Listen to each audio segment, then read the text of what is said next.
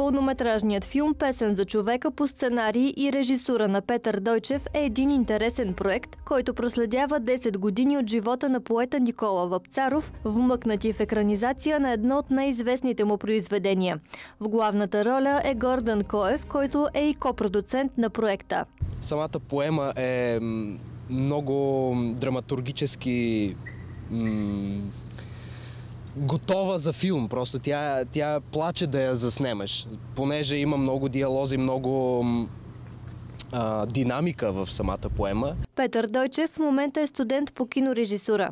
Гордан Коев пък е завършил актьорско майсторство тази година. Лентата Песен за човека е втори независим филмов проект на младия екип. От около година се подготвя проекта, понеже трябваше да се събере по някакъв начин финансиране, да се оговорят локации, да се оговорят хората, които ще участват. А самите снимки бяха около два месеца някъде.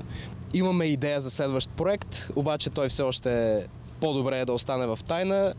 Само единственото, което може да се каже е, че ще, бъде, ще се снима до година. В продукцията участват 15 души, като създателите са наблегнали на добрата актьорска игра. Част от сцените са заснети в Бургас. Ние изцяло си финансираме продукта, гледаме да се развиваме точно в графа независимо кино. Екипът преодолява редица трудности, за да реализира проекта си. За тях обаче тези предизвикателства са стимул, за да продължат напред. Ние успяваме да с всеки нов проект да надграждаме по някакъв начин и се надяваме вече един ден да наистина си пробием път в професионалната сцена нали, в киноиндустрията в България. Филмовата лента ще бъде представена в 8 часа на 10 юли в Бургаския културен център Морско казино. На 13 юли продукцията ще бъде излъчена и в Стара Загора.